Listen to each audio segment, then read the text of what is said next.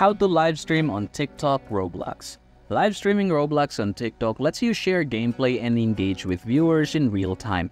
So again, in order for you to live stream on TikTok, you must at least have 1,000 followers.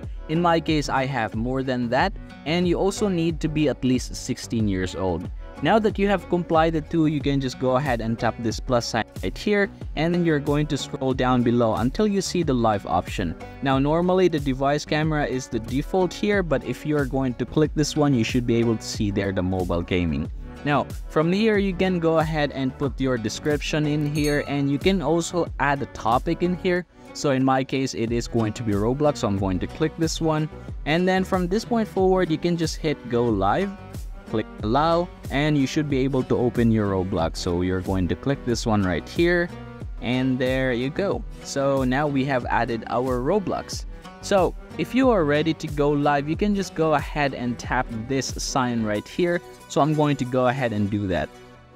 Alright, congratulations everybody. That is how you're going to live stream Roblox here on TikTok. Anyway, if you're interested in kicking off your streaming career with Streamlabs, click the link in the description box in order to save yourself up to $20 of discount.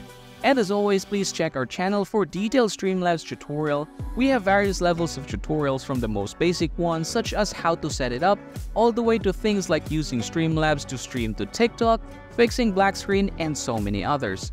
And as always, if you enjoyed this video, please don't forget to hit that like and subscribe button down below.